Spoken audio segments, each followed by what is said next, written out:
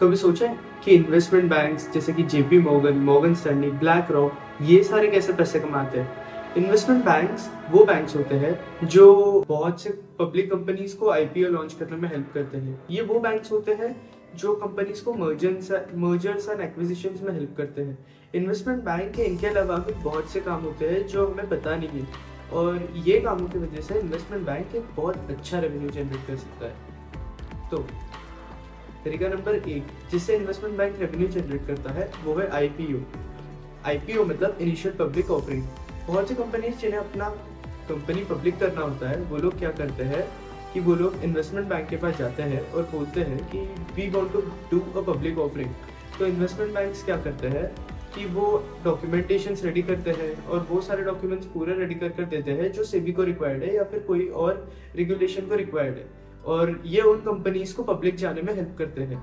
तो जब इन्वेस्ट जब ये सारी कंपनीज़ पब्लिक जाती है तो इन्वेस्टमेंट बैंक्स इनके कुछ परसेंट ऑफ़ शेयर्स को चार्ज कर लेते हैं। जैसे कि फॉर एग्जांपल अगर इनका कोई एक शेयर टेन डॉलर्स का है तो ये उन शेयर को फाइव डॉलर्स में परचेज कर लेते हैं। एंड देन उससे आगे जैसे ही वो कंपनी लिस्ट हो जाती है वो इससे like fifteen to twenty dollar में बेच देते हैं। तो ये कर कर इन्वेस्टमेंट बैंक का एक बहुत heavy amount of profit generate होता है। दूसरा तरीका जिससे इन्वेस्टमेंट बैंक रेवेन्यू जनरेट कर सकती है, वो है मर्जर और एक्विजिशन बहुत सी कंपनीज़ होती है जिन्हें अपनी कोई और कंपनी के साथ मर्ज करना होता है, या कोई और अपनी सब्सिडरी के साथ मर्ज होना होता है। एंड फॉर एग्ज़ाम्पल जैसे कि अगर एच डी एफ़ सी का एग्ज़ाम्पल देख लिया तो एच डी एफ़ सी की जो पेरेंट कंपनी है, उसने H D F C bank के साथ मर्ज कर लिया। तो ये सारे मर्जर्स कंपनीज़ तो इन सारे मर्जर्स के डॉक्यूमेंट्स नहीं बना सकती है ना? तो जो कंपनी को मर्ज होना होता है, वो इन्वेस्टमेंट बैंक्स के पास जाती है। और वो उन्हें बोलती है कि हमें मर्ज करना है तो हमें ये सेट ऑफ़ डॉक्यूमेंट्स रिक्वायर्ड है तो आप इन्हें, आप ये सारे डॉक्यूमेंट्स हमारे लिए रेडी कर दो। तो इन्वेस्टमेंट बैंक्स क्या करते हैं कि ये सारे डॉक्यूमेंट्स कंपनी के लिए रेडी कर देते हैं, क्योंकि ये डॉक्यूमेंट्स कंपनी को रेडी करना पॉसिबल नहीं होता है। क्यों? क्योंकि ये सारे डॉक्यूमेंट्स अगर कंपनी रेडी करेगी तो उसके बहुत सारे टाइम और रिसोर्स दोनों वेस्ट हो जाएगा। तो इससे बेटर है कि वो कोई इन्वेस्टमेंट बैंक के पास चल जाए। इन्वेस्टमेंट बैंक इसके बदले उनसे एक फ़ीस चार्ज करता है। ये एक हैवी फ़ीस होती है बट ये कंपनी का बहुत सारा टाइम बचा देती है। और कोई भी कंपनी के पास इतना पावर नहीं होता है कि वो अपनी मर्जर या एक्विजिशन वाले जो भी प्रॉब्लम्स है वो खुद सॉल्व कर ले।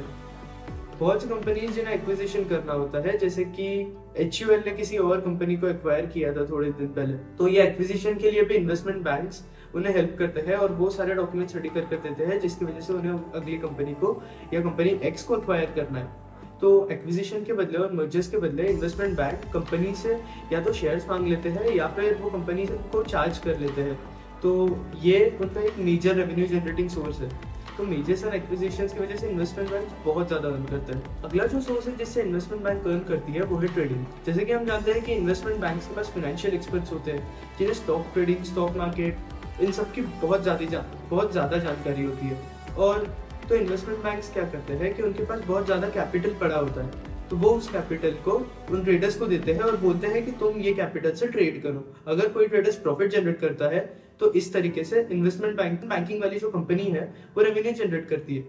और वही, अगर कोई ट्रेडर लॉस जनरेट करता है तो वो तो या तो फायर किया जाता है या निकाल दिया जाता है। तो ये एक प्रॉब्लम हो गया। ये एक बड़ा प्रॉब्लम है ट्रेडर्स के लिए बट कंपनी के लिए ये एक अच्छा रेवेन्यू सोर्स है।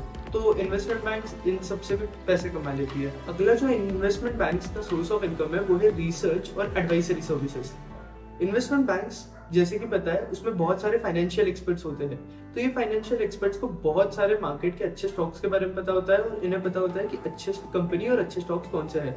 तो ये सारी जो रिसर्च होती है, ये एसेट मैनेजमेंट कंपनीज़ को बेच देते हैं। तो ये उनके लिए एक अच्छा सोर्स ऑफ़ इनकम हो जाता है। और दूसरी जो चीज़ है जिससे इन्वेस्टमेंट बैंक रेवेन्यू जनरेट करती है, वो है एडवाइसरी सर्विसेज़ इन्वेस्टमेंट बैंक क्या करती है कि वो बहुत से कंपनीज़ को जिन एडवाइसेस की ज़रूरत होती है या बिज़नेस एडवाइस की ज़रूरत होती है, उनके एक्सपेंशन के लिए या कोई मर्जर रिलेटेड एडवाइस उन्हें चाहिए होती है तो वो एडवाइस उन्हें कंपनी उन कंपनीज़ को देती है। और ये एडवाइस के बदले इन्वेस्टमेंट बैंक एक high amount of revenue charge करते हैं उन कंपनी से। तो ये एक इन्वेस्टमेंट बैंक का सोर्स ऑफ़ रेवेन्यू हो जाता है। अगला जो सोर्स है वो है प्राइवेट इक्विटी इन्वेस्टमेंट बैंक्स क्या करती है कि वो बहुत सी कंपनीज़ होती है, जो छोटी कंपनीज़ होती है, जिन्हें इन्वेस्टमेंट की ज़रूरत होती है, वो उनमें इन्वेस्टमेंट कर देती है और वो कंपनी को ग्रो करने के लिए हेल्प करती है। इसके बदले इन्वेस्टमेंट बैंक क्या करता है कि वो उन कंपनीज़ का इक्विटी चार्ज कर लेता है। वो उन कंपनीज़ से इक्विटी ले लेता है। और जैसे ही वो कंपनीज़ ग्रो होती है वो इक्विटी की प्राइस और बढ़ जाती है और इसकी वजह से इन्वेस्टमेंट बैंक्स को फ़ायदा होता है। उसी तरीके से अगर वो कंपनी अगर लॉस में चल जाती है या डिजोल्व हो जाती है तो इसकी वजह से इन्वेस्टमेंट बैंक्स को लॉस होता है। तो ये सारे कुछ तरीके थे जिनसे इन्वेस्टमेंट बैंक पैसे कमाता है। इन्वेस्टमेंट बैंक्स बहुत ज़्यादा ही प्रॉफिटेबल होते हैं और हम सभी को पता है कि सबसे बड़े इन्वेस्टमेंट बैंक्स ये सारे हैं।